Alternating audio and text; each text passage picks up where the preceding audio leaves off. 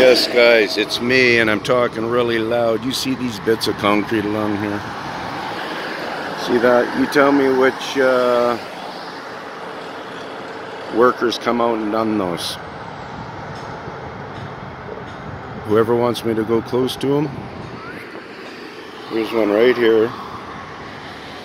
You see how they're finished. And then there's more up the road. Anyways, so my point with these things right here is this is them. Years back I thought started thinking to myself, are they collecting powder concrete from concrete mills?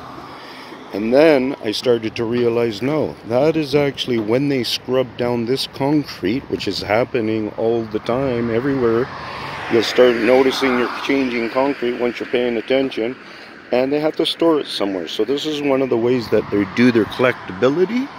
But I'll tell you that uh, at the same time, they change their collectabilities and different things depending on how attention, much attention they are receiving. I believe that's what goes on because I've noticed a number of times within my own research that they end up changing how they're maybe um, leaving some tracks. Tracks. Because remember, I say I'm a tracker.